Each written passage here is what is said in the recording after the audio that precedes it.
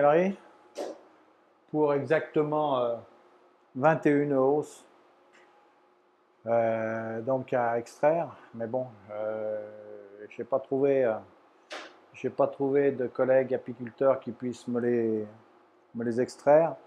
Donc, euh, bah, j'ai tout nettoyé. Ça faisait deux ans que la, toute la chaîne n'avait pas marché. Ça me, je n'avais pas du tout envie de la mettre en route pour 20 hausses euh, qui ne sont pas toutes pleines. Euh, ils s'en manquent. Donc, pour peut-être 100 kg ou 150 kg de, miel de colza, bah, il va rester 20 kg dans les tuyaux. Il va falloir tout que tout que, que je nettoie parce que ça cristallise très vite. donc, ça me fait un boulot dingue. Mais bon, tant pis. C'est comme ça. Et donc, euh, ben voilà, je vais attaquer à, le faire. Je ne sais pas si vous aviez déjà vu euh, comment je faisais. Euh, c'est-à-dire que, mon, comme je dis, moi, tout est sur chariot. Hein. ce qu'on entend claquer, je pense que vous devez l'entendre, c'est, que j'ai, un, j'ai une chambre chaude à côté. D'accord On peut voir, on peut voir là-haut. Il y a un peux m'allumer, ça ira plus mieux même. Il y a un chauffage, euh, en théorie c'est des rideaux d'air. Alors, euh, faut pas que ça fasse, ça, tombe directement par terre, j'ai même mis une plaque dessous. J'ai ensuite, hein, comme je disais sur la, précédente vidéo, le fléau numéro 1 c'est l'hygrométrie, donc l'humidité. Donc j'ai un petit, tout petit désume ici et j'en ai un autre qui vient de démarrer là d'ailleurs. C'est le gros, c'est le gros qui est là derrière. Donc ça, c'est aussi un, déshumidificateur à 90 ou 110 litres jour. Je ne sais plus combien il fait. C'est un gros monstre. C'est un gros monstre. Et donc, euh, qui vont me permettre de... Parce que comme le miel hier, euh, euh, comment... Ça glisse tout seul, le trépied, c'est bizarre. Ouais, comme, le miel hier rentrait, euh, quand je rentrais, il, ça me giclait dessus. Donc j'y ai fait tourner toute, la nuit avec, euh, en mettant, euh, je vais vous dire exactement. Ouais, la chambre chaude est à 27. La chambre chaude est à 27, donc oui, je suis pas très très chaud. Et puis, c'est juste histoire qu'ils ne se mettent pas à vouloir cristalliser, quoi tout simplement. Alors après, ben, j'ai une, alpha de chez Thomas que j'avais euh, euh, j'avais fait modifier du départ, c'est-à-dire que euh, Thomas, quand il nous vendait ça, il mettait il mettait trois barres et ça tournait très très vite, donc j'avais tout modifié. j'avais mis une poulie plus petite, j'avais, euh, du moins plus petite, euh, je ne sais plus si c'était plus petite ou plus grande, mais de façon à ce que euh, je mette le double de barres sur les chaînes. Donc, euh, comme ça, les cordes descendaient deux fois moins vite. Et pourquoi? Parce qu'au début, ça m'arrachait les, les, les, alvéoles, mais jusqu'à la gaufre.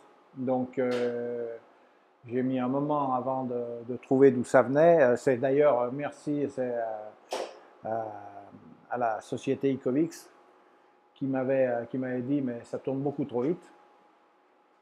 Euh, donc euh, voilà, donc je l'avais toute modifiée. Après, quand je l'ai acheté, donc Thomas avait mis des, des compteurs d'énergie qu'ils appellent ça, c'est-à-dire c'est des, des tout ou rien, c'est-à-dire c'est un cadenceur qui, qui balance plus ou moins vite des impulsions électriques sur des résistances, sous prétexte que la, euh, comment dirais-je, le, petit bulbe d'un euh, d'un thermostat n'allait pas tenir avec les vibrations des lames de, la, machine.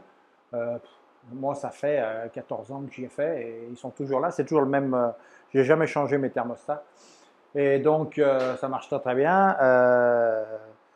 Ai, j'avais changé, j'avais mis aussi sur le Spino. Le Spino, c'est le gros filtre qui me permet de séparer la cire du miel. Et puis euh, j'en avais mis aussi sur la vis sans fin qui est là, l'entonnoir qui est dessous la machine à désoperculer. Parce que tout était équipé de, résistance, mais tout avec ses compteurs d'énergie. Et puis un jour, j'ai oublié d'éteindre la machine. Dans la menuiserie de l'autre côté, on ne se voyait plus, hein, tellement que ça avait, euh, ça avait cuit le miel, mais c'était sur les lampes, hein, pour ailleurs, bien sûr. Mais les lames, euh, c'était, euh, ça fait fumer, mais c'était impressionnant.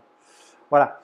Donc, le principe de ces machines, bah, c'est, c'est, des, des, barres qui, oh, je vais essayer de vous approcher un peu. Ce sont des, des lames qui vibrent. Voilà, il faut qu'elle démarre parce que ça fait deux ans qu'elle n'a pas tourné. Donc voilà. Et puis des barres qui vont, je vais poser les cordes là-dessus, ils vont rentrer euh, entre les deux lames, tout simplement. Et puis après, c'est celle, la barre d'après qui va les pousser dessus. Et après, on va remonter les, les, barres de l'autre côté. Et donc après, ils se posent sur ce qu'on appelle le stand. Donc le stand, c'est cela, quoi. Hop, si j'arrive à passer avec mon trépied. Donc le stand, c'est ça, c'est cette partie-là. Hein.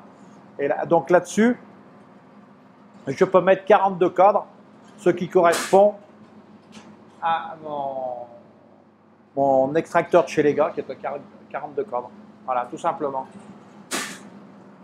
Voilà, alors après, je ne sais pas comment je vais vous mettre, euh, pour essayer de vous faire voir un petit peu, mais bon. Je ne vais pas en faire des masses parce que j'ai passé la journée à tout nettoyer, vu qu'il y avait, euh, l'année dernière, elle n'avait pas tourné. Et donc, euh, il est déjà tard, comme d'habitude, parce que je travaille à mi-temps. Hein. Donc, c'est déjà 7 heures du soir. Ce que je vais faire, je vais, faire, euh, je vais en faire une partie, puis je vais, je vais, hop là, je vais contrôler au réfracto pour voir si, euh, si le taux d'humidité n'est pas trop élevé. Voilà, tout simplement. Bon, il faut que j'essaye de vous trouver une, place où vous arrivez à voir ce que je fais sans, sans que je vous bouge toute la vue. Voilà, donc je mets tous les cadres euh, dedans. Donc quand ils ont dessous, ça c'est les grilles à qui, qui, accrochent. Moi j'ai un petit rabot que j'avais fait mettre, c'est des options que j'avais fait mettre, ça c'est même moi qui leur avais dessiné au début. Je gratte un coup sous mon cadre et comme ça il est nickel. Après le dessus, c'est quand c'est sur le stand, j'y fais à la spatule. Voilà, tout simplement. Donc oui, il y, a beaucoup qui n'est pas operculé, il y en a, en a d'operculés, mais il y en a beaucoup qui ne sont pas operculés.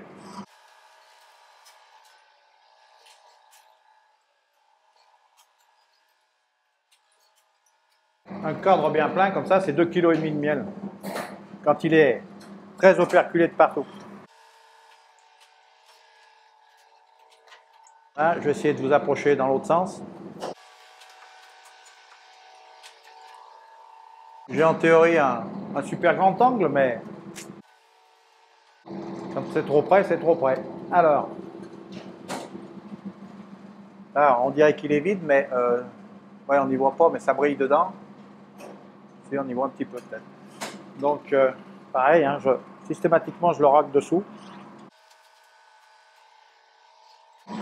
je travaille de l'autre main parce que j'ai l'appareil qui est juste là.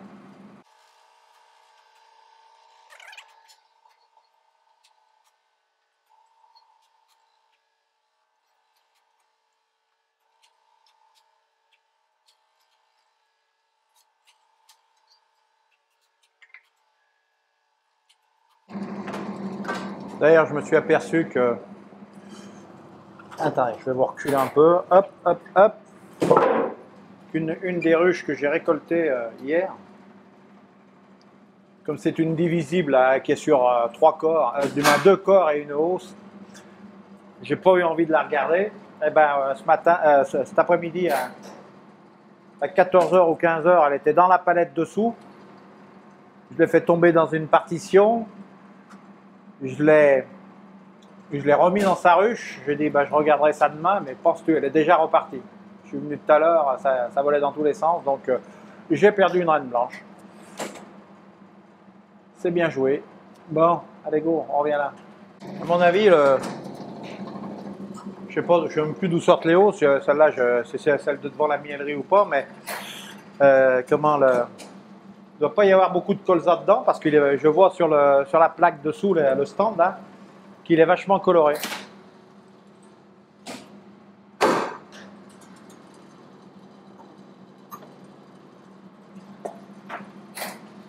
Il y en a un petit peu, alors ça passe, ça passe à l'extraction.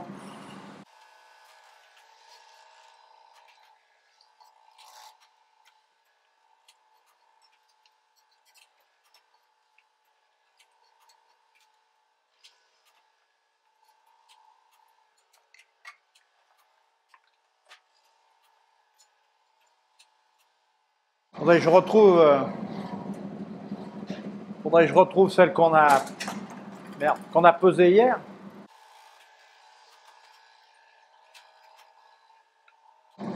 Quand je les racle pas dessous, c'est qu'ils ont rien. Autrement, je les racle systématiquement.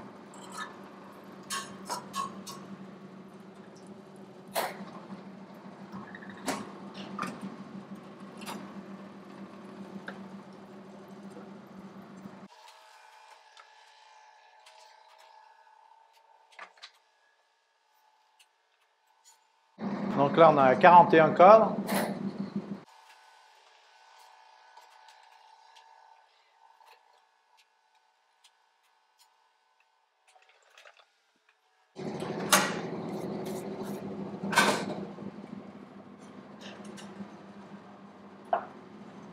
Voilà, donc, euh, vous voyez, le stand est,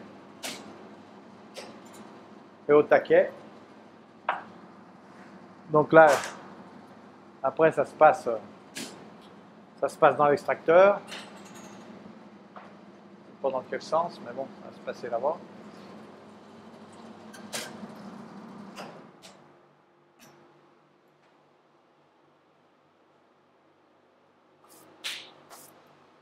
Alors le principe de, de ma chaîne d'extraction, c'est que si on regarde comment ça fonctionne, là, vous avez le miel qui coule de la, plaque, donc du stand, qui tombe dans cette vis sans fin, d'accord, qui est là-dessous.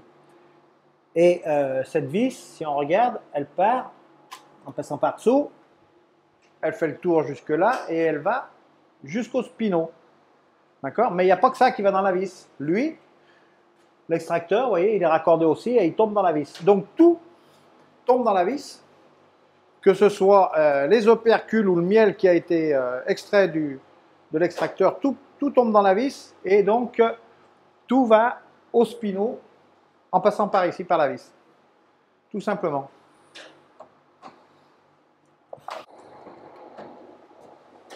Alors systématiquement, je regarde recto verso, voir s'il n'y a pas de.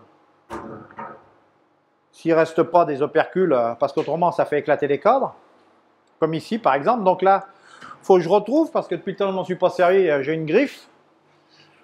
Je ne sais même pas où elle est. Si, elle est là. On va la nettoyer un petit peu quand même. Voilà. Donc j'ai une griffe. euh, Est-ce que c'est qu'une griffe hein, C'est ça, hein, tout simplement.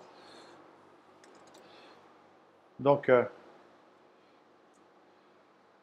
quand il y a des trous euh, et quand il y a des endroits où euh, ça ça s'est pas désoperculé, hein, parce que moi j'y fais pas au couteau, la machine elle passe tout droit.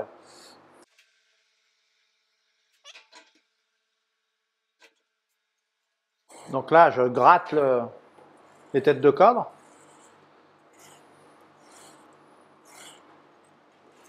C'est tout simple, hein, j'y fais au lève code, moi, je dis spatule ou lève code, quoi. Comme ça les pousse, ça les incline un peu, comme ça on peut les faire individuellement. Ah, puis ça pareil, hein, j'y fous tout dans la... Ça passe tout à la... dans la vis sans fin qui emmène tout au spinot.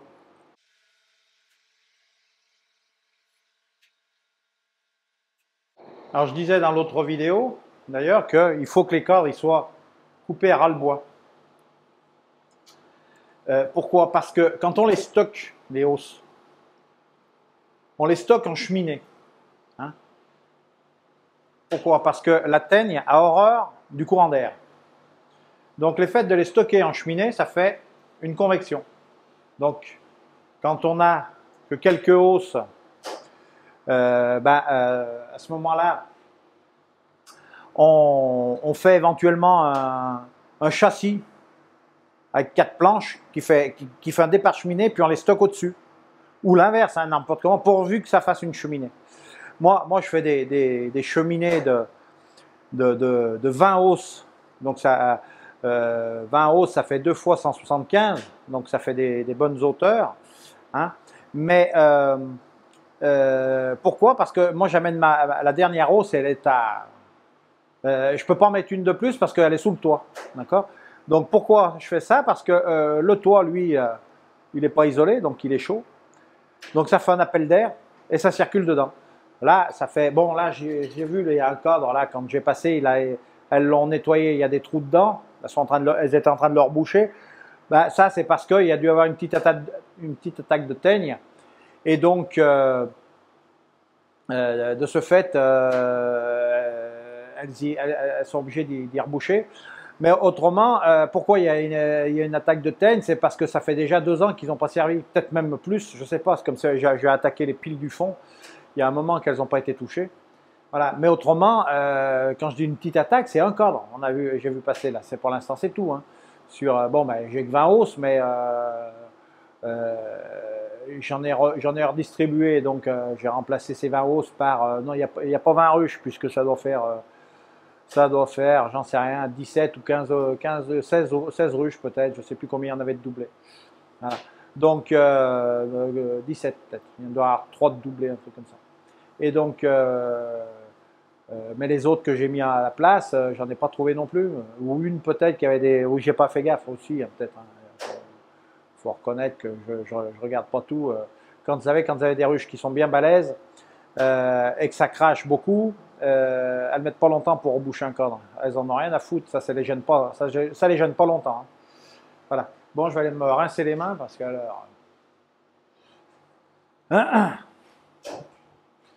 elles sont dans un état lamentable. Ça, c'est aussi c'est un truc impératif quand on se fait un petit local de quand on fait un petit local de miellerie, il euh, faut impérativement qu'on ait de l'eau, l'eau courante, hein. parce que le miel ça salit déjà, hein, ça noircit tout ce que ça touche. Et euh, donc, euh, le fait que ça noircisse et que ça salisse tout ce que ça touche, euh, il faut impérativement avoir de l'eau courante parce que se, rincer dans un seau, au bout d'un moment, tout est noir. Hein, donc, il, faut, il faut avoir de l'eau courante, c'est ce qu'il y a de mieux. Moi, j'ai j'avais mis une plonge Ici, j'avais, où je suis installé là, c'est dans une ferme. Il n'y avait même pas, euh, il y a même pas l'eau de la ville ici. Donc j'ai carrément, euh, j'ai carrément fait un puits. Hein, on appelle ça un forage par pieu. C'est-à-dire que c'est un, c'est un tube qu'on plante en terre. Hein. Il y en a qui appelaient ça des puits artésiens, mais le puits artésien, c'est pas ça. Le puits artésien, c'est une résurgence de flotte qui gicle. Là, là euh, je pompe l'eau euh, à 10 mètres de fond. Avec une pompe de surface en plus. Alors donc, je l'ai enterré, du moins je l'ai enterré, je l'ai descendu. Hein, parce que vous savez que pour monter euh, de l'eau, c'est la pression atmosphérique qui fait, qui fait que l'eau monte. C'est-à-dire que quand vous êtes à 900 hectopascales, vous pompez à 9 mètres. Hein, euh, si vous avez une, forte dépression, hein, ben, vous pompez plus d'eau. Mais bon, moi, ça m'est jamais arrivé de ne pas pouvoir pomper d'eau. Depuis le début, euh,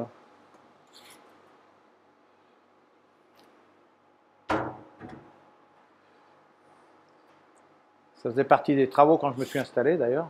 Première chose, j'ai parce que là, c'était euh, c'était une stabulation libre pour des chevaux. Ben, j'avais des chevaux ici d'ailleurs. Et donc euh, j'avais fait, euh, j'ai fait les murs que vous voyez partout. J'ai fait les, j'ai fait les portes, j'ai fait le carrelage, euh, j'ai fait l'électricité, j'ai tiré l'eau. Là, c'était les premiers travaux de mon installation.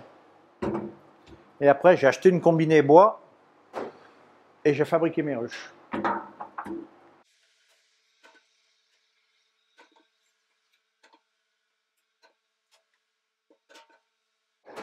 Alors c'est sûr que moi quand j'ai commencé, j'avais absolument rien, hein. j'avais pas de ruche, j'avais du moins j'avais pas de ruche, j'avais j'avais quoi euh, une centaine de ruches en amateur. Euh, donc j'ai absolument tout acheté. Hein. quand euh, je dis tout, c'est tout, même le bois, le carrelage pour le bois pour faire mes portes, pour faire pour tout faire quoi. Et donc j'ai acheté les chaînes d'extraction, j'ai acheté et l'extracteur, j'ai acheté le spino, j'ai acheté. Et c'est vrai que il y a beaucoup mieux plus encombrant aussi, mais c'est les, c'est les, comment, je vais être tordu dans tous les sens. le truc, ce qui est beaucoup de beaucoup mieux, c'est les, les extracteurs à axe horizontal. Moi, c'est un axe vertical, donc il tourne, il tourne comme ça. Mais il y a des extracteurs à axe horizontal, ce qui fait que les câbles, on les pousse dedans. Et tout simplement, ça évite toutes ces manips, parce que alors ça, ça aussi, ça doit faire partie de, de ce qui m'a ruiné les épaules. Parce que des cadres, euh, quand euh, vous êtes en pleine récolte et que ça a craché un peu, bah, vous, vous embrassez. Hein. Quand ils sont bien pleins, on les prend, on les lève, on les met là, là dans l'extracteur. Ça fait, euh, ça vous arrache les bras à la fin de la journée.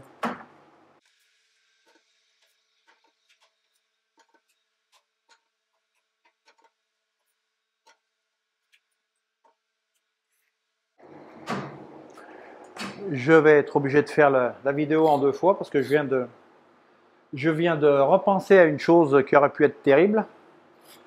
C'est que j'ai démonté l'extracteur pour, euh, euh, pour le, sortir dehors euh, il y a deux ans, donc pour le nettoyer. Et puis là, je m'aperçois qu'il n'est pas fixé au sol. Donc un 42 cordes, quand ça commence à bouger, ça doit se promener facilement, je pense. Donc il faut que je le refixe avant de mettre en route. Bon, ça y est, j'ai j'ai fixé mon, mon, extracteur. Donc la mise en marche, elle se fait par le bouton qui est là. Hop. Donc euh, après j'ai un pupitre. Mais alors c'est... Il va, il va d'ailleurs là. Ah oui, j'ai encore la massette, parce qu'il a fallu que je tape pour faire bouger les pieds. J'ai un pupitre ici, mais alors c'est une usine à gaz. C'est un variateur de fréquence euh, industriel. Voilà, j'ai qu'à appuyer sur le bouton Run et puis il démarre. Donc euh, voilà, hop, on voit euh, tourner les cadres. Donc il, démarre progressivement pour l'instant, on peut, on peut même, euh, on peut même euh, enlever le. Donc, on, va, on, verra, euh, je ne sais pas si on va y voir comme ça, mais je fais des essais. Hein. On commence à voir le miel. Les claquements, c'est les cadres avec la force centrifuge qui se mettent en place. Voilà, on voit le miel qui commence à, gicler sur les parois.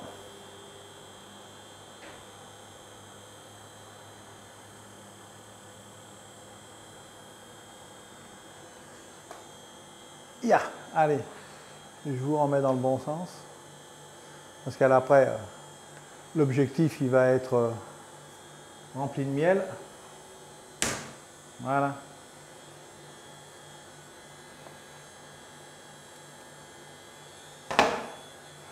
Et dans un moment, euh, on verra arriver on verra arriver le miel euh, dans la vis sans fin. Non, il faut pas que je fasse comme ça. Donc qui est là en bas, hop, il y en a déjà un peu, mais ça c'est ce qui est sorti de l'opération. Ah aussi, ça coule déjà. Attendez je vais vous faire voir. Ça m'inquiète d'ailleurs comme la vitesse où il coule c'est peut-être qu'il est peut-être pas assez, euh, assez mûr. Mais vous voyez, on le voit, euh, tac, tac, tac. Est-ce que vous voyez J'en sais même rien. Attendez, je vais vous mettre autrement. Voilà, donc euh, on voit arriver le miel. Mais de la manière qu'il arrive, il m'inquiète beaucoup. Alors vous voyez, on voit au fond, il y a toutes les opercules qui sont tombées de la, de la machine. Donc on y voit monter dans le tuyau. Voilà, hop.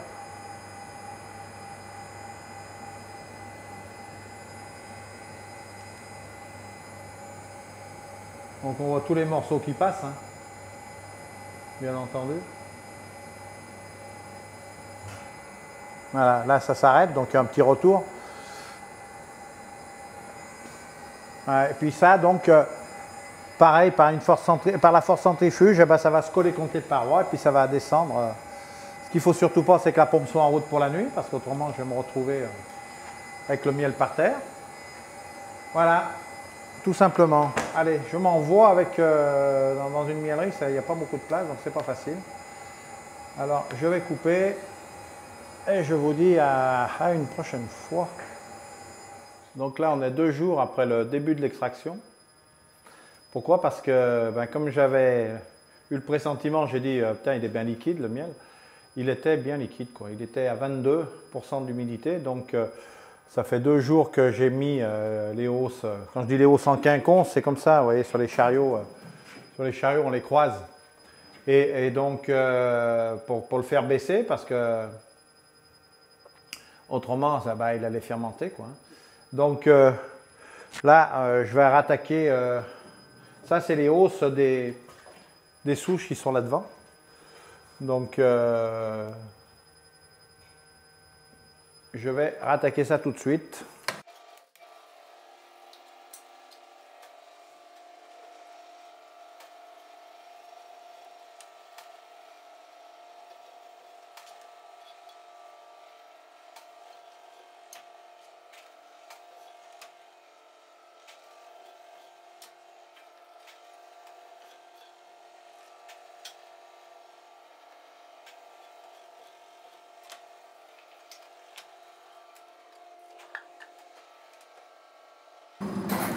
Oui, ça c'est les, c'est les cadres de, celles qu'on a bzé là, les deux qu'on a bzé, oui. Donc là c'est operculé de A à Z.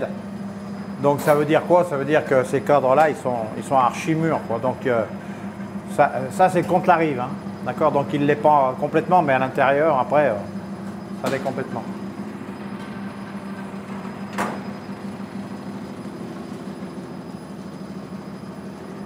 Allez, ça fait des jolis cadres hein, quand même.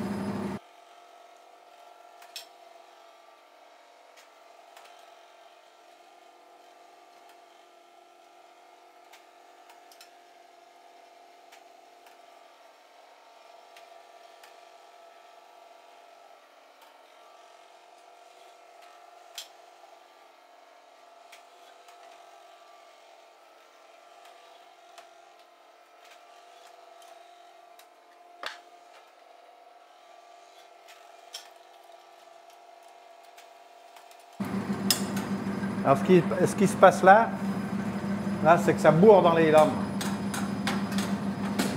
Euh, et ça c'est parce que j'ai monté un peu la température de la chambre chaude et euh, ça ramollit trop la cire.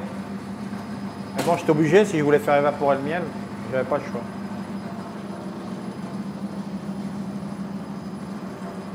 Vous voyez, quand je vous dis, elle est, elle est, comment?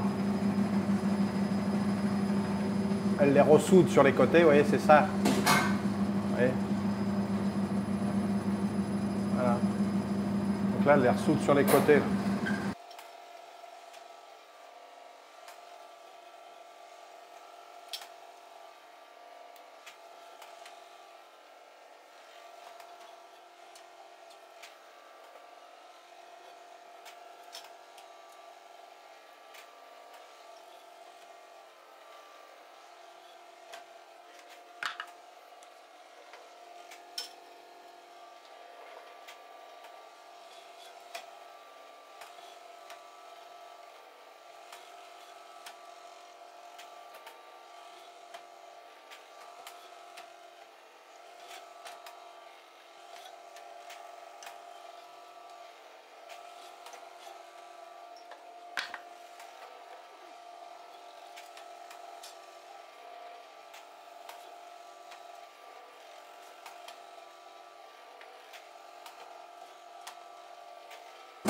Voyez, ça c'est le genre de hausses qui sont très trompeuses. Elles sont très, très belles dessus.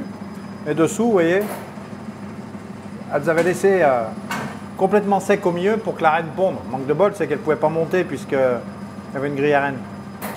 Donc on se retrouve avec des cadres qui sont super légers. De dessus, la hausse, elle fait super belle, mais autrement... Euh,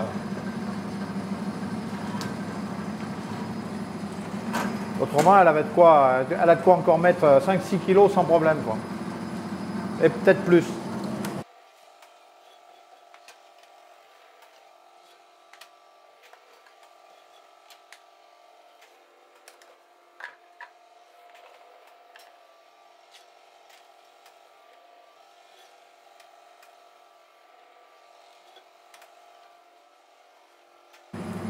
Si jamais j'en mets trop, ça la bloque. Pas fait gaffe que il a fallu que j'arrête un peu avant.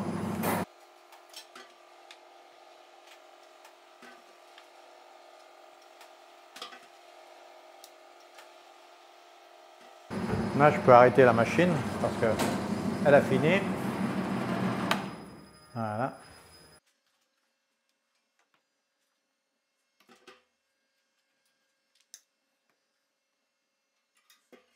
Ah, donc en ce moment, les ruches euh, sont sur l'acacia. Et donc, euh, cet après-midi, je suis allé voir. Donc, euh, celles que j'ai récoltées, les premières, ça fait trois, trois jours. Quatre jours peut-être? Allez, quatre jours, on va dire. Eh bien, j'en ai doublé déjà. Parce qu'elles étaient vraiment blindées. Et demain, j'en ai d'autres à doubler. Faut j'y retourne demain.